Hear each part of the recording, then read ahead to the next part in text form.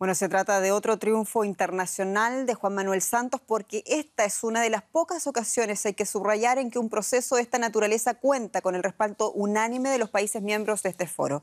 Ampliamos este tema con nuestro enviado especial a Cartagena de Indias, mi colega Andreu Jerez. Ahora mismo, Andreu, te encontramos ya casi. ¿Qué tal? Un abrazo. Sabemos que Colombia ha sido el punto crucial de esta declaración de Cartagena, también por los jóvenes, pero ¿qué destaca concretamente este documento al respecto, Andreu?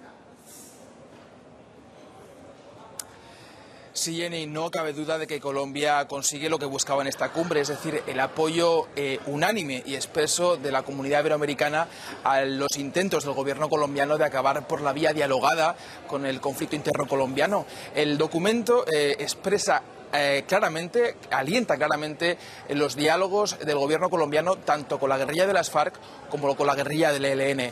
Por tanto, se puede decir que el gobierno colombiano consigue lo, que estaba buscando con esta cumbre, escenificar la unidad de la iberoamericana con respecto al proceso de paz y ese es claramente un espaldarazo diplomático a las intenciones eh, del gobierno de Santos. De los otros 14 documentos cabe destacar tres, uno propuesto por España para eh, acabar con la situación colonial del enclave británico de Gibraltar en el Estado español, otro alentando a las negociaciones entre el Reino Unido y Argentina sobre el conflicto territorial de las Malvinas y por último todo un clásico, eh, la condena unánime al eh, bloqueo de Estados Unidos sobre la isla de Cuba.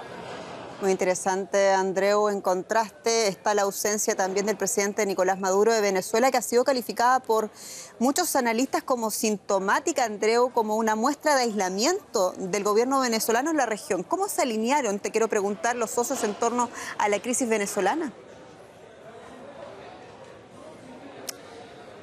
La sensación que hay aquí es que no se ha querido hablar de Venezuela. Eh, ha habido un mar de fondo antes de esta cumbre de jefes de Estado de Gobierno. Se temía que la crisis política económica eh, en Venezuela pudiese enturbiar eh, la unidad iberoamericana y al final, a pesar de que algunas delegaciones como la peruana, con el presidente liberal conservador, Pedro Pablo Kuczynski al frente, ha intentado avivar el debate sobre lo que está ocurriendo en Venezuela, no ha cuajado y ha quedado un poco fuera de, foco.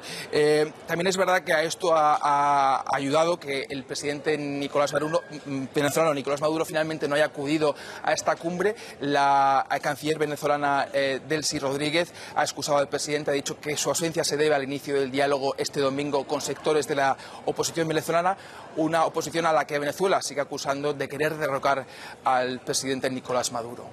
Buen trabajo, Andrés Jerez. Muchas gracias.